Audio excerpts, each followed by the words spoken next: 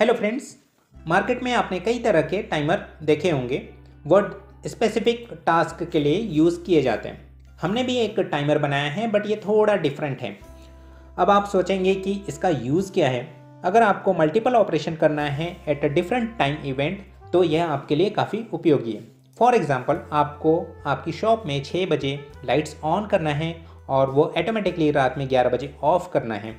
वैसे ही गार्डन में वाटर पंप स्टार्ट करना है, कुछ टाइम के बाद ऑटोमेटिकली वाटर पंप ऑफ़ कर देना है। इस टाइप के एप्लीकेशन यह टाइमर सर्किट कर सकता है। सो so फ्रेंड्स आज की वीडियो में हम आपको इस टाइमर के बारे में ही बताने वाले हैं और इसकी सेटिंग कैसे की जाती है, ये भी एक्सप्लेन करने वाले हैं। तो चलिए स्टार्ट करते हैं।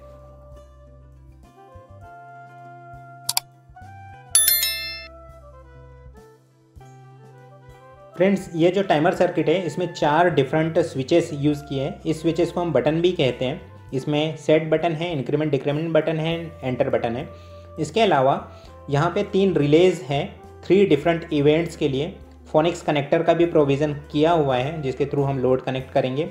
ओ डिस्प्ले यूज़ किया है। ओएलईडी डिस्प्ले में डेट एंड टाइम शो होता है।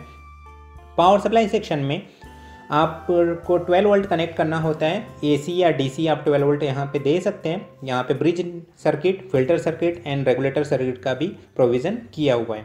साथ में एक 3 वोल्ट का बैटरी भी लगाया है। कॉइन सेल यहाँ हमने लगाया है, जो आरटीसी के टाइम को प्रॉपरली चलाता है। जब भी पावर ऑफ़ हो जाता है तो ऑटोमेटिकली ये टाइम एडजस्ट कर लेता है। रिलेज को ड्राइव करने के लिए यहाँ पे हमने ऑप्टो आइसोलेटर का भी यूज़ किया हुआ है, जो रिलेज को प्रॉपरली रन करते हैं।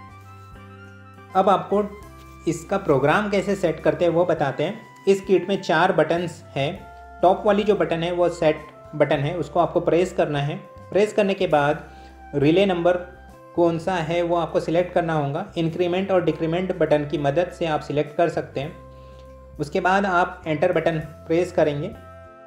एंटर बटन जब हम प्रेस करते हैं तो वो ऑन टाइम अब आपको यहाँ पे एंटर करना है। आप again increment and decrement button की मदद से ऑन टाइम सेट कर सकते हैं। जैसे अभी जो ब्लिंक कर रहे डिजिट्स वो आवर्स हैं। यहाँ पे आपको आवर्स सेट करना है। एंटर बटन प्रेस करके आप मिनट वाले पोजीशन पे चले जाएँगे। यहाँ आपको मिनट सेट कर देना है। तो अभी हम यहाँ पे एक टाइम सेट कर देते हैं। जैसे हमने दोपहर के दो बज के दस मिनट ऐसा सेट किया on time enter button press करेंगे तो अब आप ऑफ़ टाइम वाले लोकेशन पे चले जाएँगे।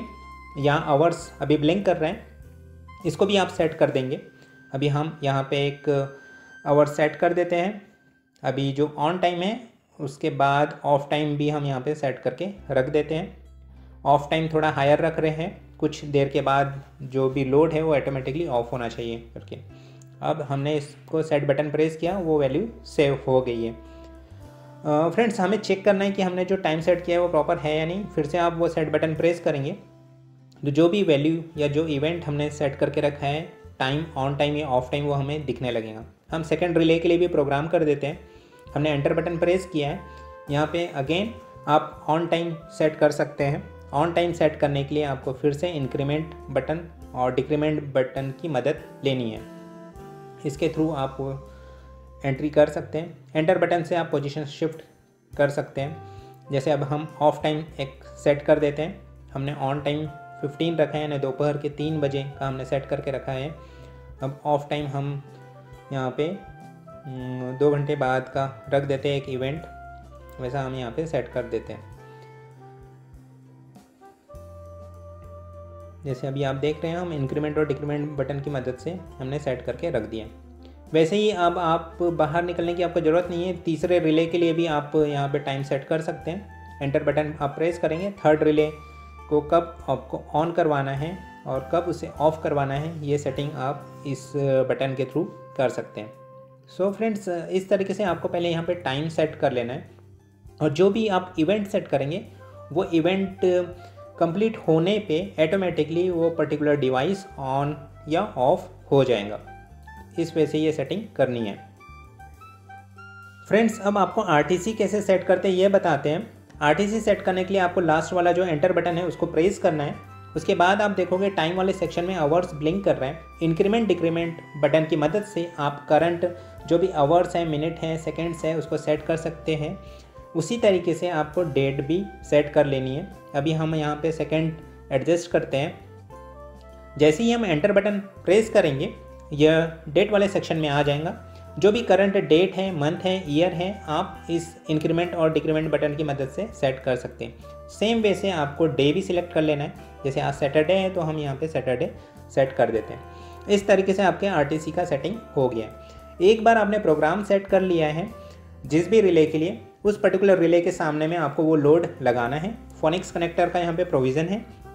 एन ओ एन सी पोल ये टर्मिनल पे आप लोड लगा सकते हैं। पाँच एम्पियर का कोई भी लोड यहाँ पे रन हो सकता है। इस किट में एक और प्रोविज़न किया हुआ है। यहाँ पे, यहाँ हेडर्स का प्रोविज़न है। उस हेडर के थ्रू आप एक्सटर्नल कीपैड भी कनेक्ट कर सकते हैं। अगर आप इससे कोई बॉक्स में एनक्लोज करना चाहते हैं, तब इंटरनल कीपैड का कोई यूज़ नहीं है। आप एक्सटर्नल कीपैड से ही सारी सेटिंग कर सकते हैं।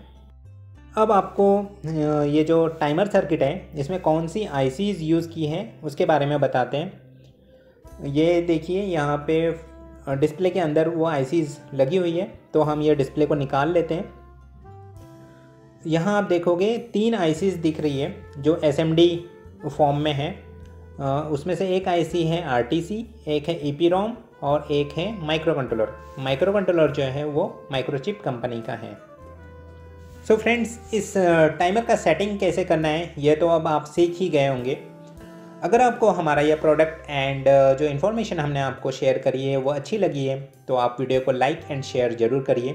चैनल में पहली बार आए हैं तो चैनल को सब्सक्राइब भी कर लीजिएगा, क्योंकि इस तरीके के ही हेल्पफुल कंटेंट हम आपके लिए बनाते रहते हैं।